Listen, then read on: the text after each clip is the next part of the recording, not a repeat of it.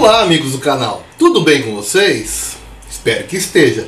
Hoje é um dia muito feliz para mim, porque hoje é 19 de junho, o meu aniversário. Hoje estou completando 48 anos de idade e estou muito feliz de estar de volta aqui com vocês para apresentar uma nova receita justo no dia do meu aniversário. Olha aqui o que, que é: bolo de cenoura e confesso a vocês que ficou uma delícia. Mas antes de começar esse nosso preparo, por favor, inscreva-se no nosso canal, dê o seu like, ative o sininho para as notificações e receber nossas próximas receitas. Agora, antes de eu apagar a velhinha do meu bolo, vamos para o nosso preparo? Então, amigos, aqui estão os ingredientes do preparo da nossa massa. Três ovos, duas xícaras de 200 ml de açúcar cristal que eu estou usando, um copo americano de óleo, fermento em pó químico, vou usar uma colher de chá, de chá não, perdão, uma colher de sopa. Três cenouras eu piquei pequeno porque como vai bater no liquidificador, pode ser que grande e atrapalhe você. Três xícaras de farinha de trigo já estão peneiradas, para ver que está peneiradinha, bonitinha. Vamos entrar com, então, o primeiro que nós vamos entrar no liquidificador vai ser com a cenoura, os ovos e o óleo. Então, amigos, já batemos aqui a nossa cenoura. Eu tive que colocar mais um ovo, porque ficou como a cenoura era bastante cenoura, preciso, ficou meio durinho, eu precisei diluir um pouco mais. Eu pus mais um ovo e um pouquinho de óleo. Agora vamos entrar com o açúcar e vamos deixar bater por 5 minutos. E depois voltamos. Então, amigos, já está batido aqui a nossa cenoura. Houve um imprevisto aqui. Tive que trocar de liquidificador porque esse aqui caiu no chão antes e deu uma trinca, então ele estava vazando. Eu troquei por outro. Para você ver que a cozinha não é perfeita. A cozinha, ela tem também imprevisto. Você tem que saber é dosar esses imprevistos. Aconteceu, não se apavore. Vai lá simplesmente e corrige a situação. Eu corrigi a minha situação, faltou um ovo, coloquei mais um ovo, coloquei mais um óleo e agora vamos pegar e misturar essa nossa, esses líquidos, a nossa farinha. Vou abrir aqui a farinha. Vou abrir. Vou colocar aqui.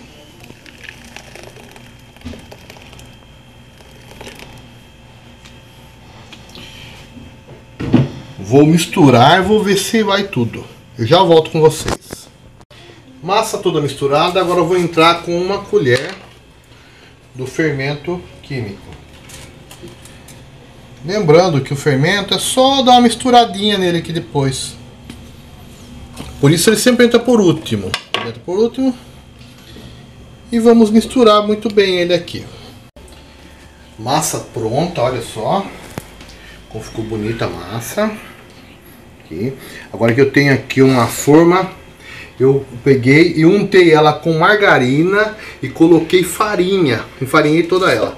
Agora vamos entrar aqui com a nossa massa e já já voltamos. Então amigos, o forno já está pré-aquecido, vamos colocar o bolo dentro do forno.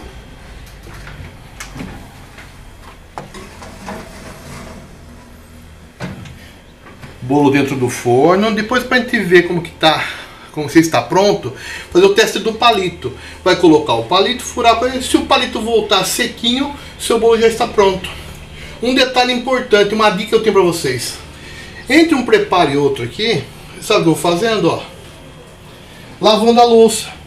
Quando você terminar de fazer o seu preparo, sua louça está limpinha e você não só vai ter o prazer de comer e não de ficar arrumando a sua cozinha. Já já voltamos. Então, amigos, bolo pronto, já desenformado. Vamos fazer agora a nossa calda. Ingredientes: 2 colheres de margarina, 5 colheres de leite, uma xícara que é essa mesma aqui de achocolatado, uma xícara de açúcar. E aqui já tem a panelinha pronta esperando. Já já voltamos. Então, vamos preparar a calda agora. Vou desligar o fogão aqui entrar com a manteiga, quer dizer, margarina. Né?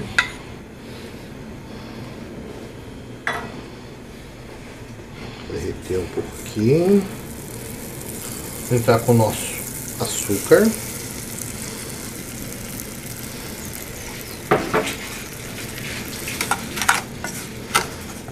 Mexer para derreter. Vamos entrar com o chocolate agora.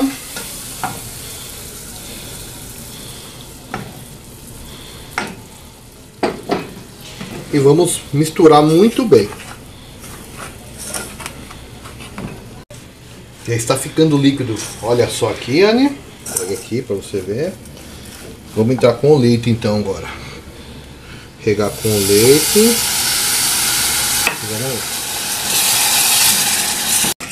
Muito bem. Tá. Finalizada a nossa calda aqui, vamos desligar para fazer a cobertura do bolo. Muito bem, chegou a hora de nós fazer a nossa cobertura aqui. Vamos ver lá.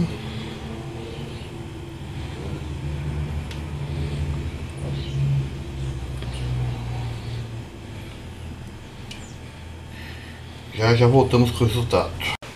Vamos cortar o bolo para ver o resultado final agora. O bolo ainda está quente, a calda ainda está quente. Mas vamos lá, né filha? Uhum. Aí. O bolo está cortado. Vamos pegar um pratinho aqui. O resultado dentro do bolo. Oh. Olha a cor dele, Nani. Uhum. Que maravilha. Olha só que bolo lindo. olha. Fofinho. Deixa eu provar um pedaço dele.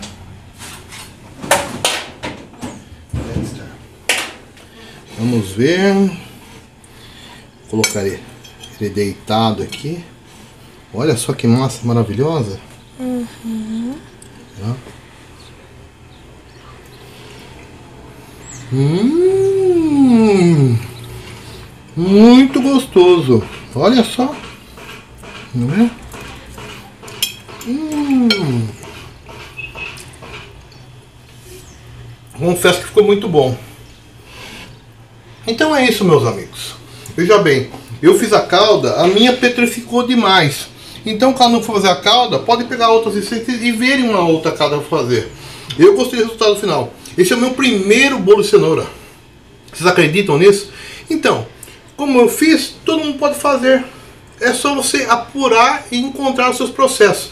Cada um faz do jeito que consegue. Vai aprimorando, vai fazendo e vai sair algo maravilhoso, igual esse bolo aqui, para você comer com a sua família. Agradeço a vocês de coração e fiquem com Deus e até a próxima.